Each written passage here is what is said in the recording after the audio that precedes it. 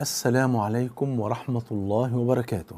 بسم الله والحمد لله والصلاة والسلام على حبيبنا وأسوتنا وقدوتنا وشفيعنا رسول الله صلى الله عليه وآله وسلم.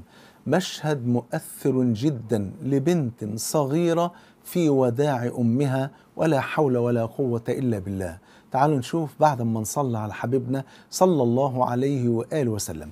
أكتر حاجة بتدمي القلب في مثل هذه المآسي هي مشهد الأطفال اللي بيفقدوا أهلهم وزويهم. يعني طفل صغير عمره ست شهور فقد أسرته كلها. تسأل نفسك كيف سيعيش هذا الطفل بعد ذلك؟ الله عز وجل هو الذي يتولى أمره سبحانه وتعالى. برضو طفل صغير عمره شهرين طلعوه برضه من تحت الأنقاض وأسرته كلها ماتت. هذه الفتاة التي سنرى يعني المشهد بتاعها الآن هذه فتاة صغيرة بنت صغيرة جدا. أمها ماتت وأختها ماتت ومن قبل كده جدها وعمها يعني تقريبا العيلة كلها ماتت وبقيت وحيدة. فالبنت متأثرة جدا وبتبكي بكاء يدمي القلب ورب الكعبة. تعالوا نشوف المشهد ثم نعلق عليه بعد ذلك بفضل الله سبحانه وتعالى. مش هي مش هي. مش هي. مش هي مش هي واحدة من الطرفين طيرانه هي هي والله هي. أنا بعرف مش عارفه هي. ليش يا رب أخذها مني؟ ليش أخذها مني يا الله؟ والله ما بقدر بدوني يما يما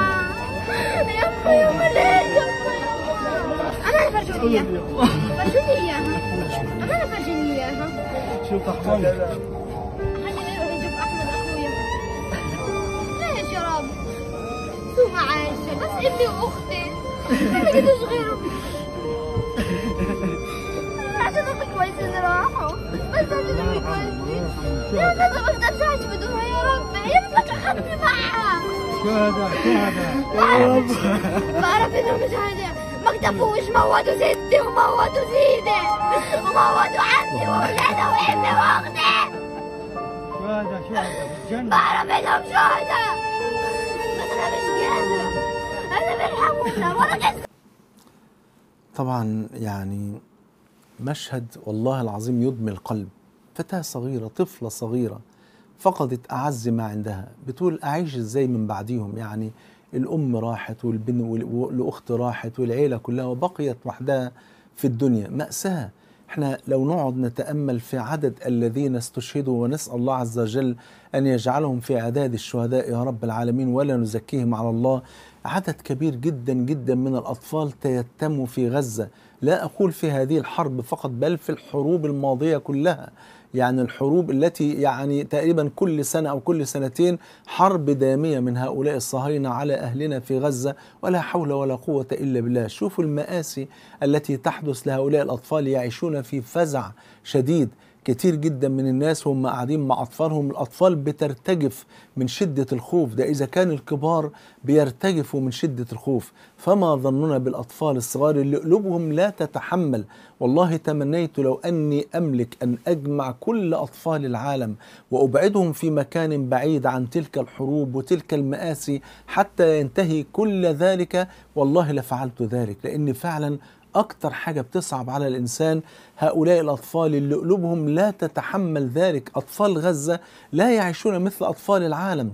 أطفال العالم اللي بيمزحوا ويضحكوا ويتفسحوا وينبسطوا ويقعدوا أمام الكمبيوتر وأمام الأتاري وأمام مش عارف إيه واللعب والفسح وال... وال... سبحان الله. هؤلاء فقط الآن لا يبحثون إلا عن الأمان ولقمة عيش حاف وشوية مية.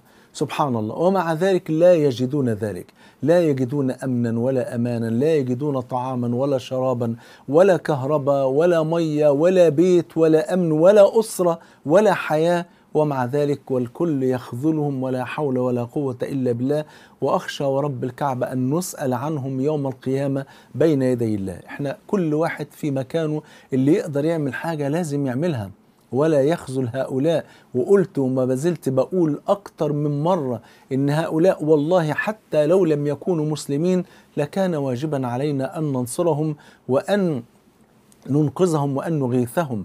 حتى لو كانوا مش مسلمين ولا ولا غير مسلمين حتى لو كانوا قطط وفراخ لو كانوا دجاج وقطط كان واجبا علينا كان واجبا علينا أن ننقذهم لأنها أرواح. واجب علينا أن نرعاها وأن نحافظ عليها. فالإنسان لابد ان هو يتألم لهذه المشاهد.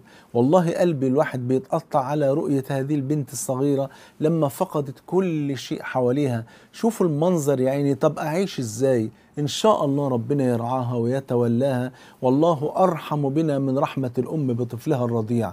فالنبي صلى الله عليه وسلم مات أبوه وهو حمل في بطن أمه وماتت أمه وهو عمره ست سنوات ومات جده الذي يرعاه وهو عمره ثمان سنوات ومات الحبيب والقريب وكل من يعني كان النبي صلى الله عليه وسلم يتمنى أن يعيش في كنفهم وفي حياتهم ماتوا وتركوه وكأن المولى عز وجل يقول لن يرعاك إلا ربك سبحانه وتعالى فنشأ وتربى بفضل الله سبحانه وتعالى فالذي رباه والذي أدبه والذي علمه هو الله سبحانه وتعالى فكان سيد ولد آدم صلى الله عليه وسلم. أسأل الله عز وجل أن يجبر بخاطر هؤلاء الأطفال في غزة وفي سوريا وفي كل بلاد المسلمين. يا رب العالمين وأن يجمعنا وإياكم مع سيد ولد آدم صلى الله عليه وسلم في الفردوس الأعلى.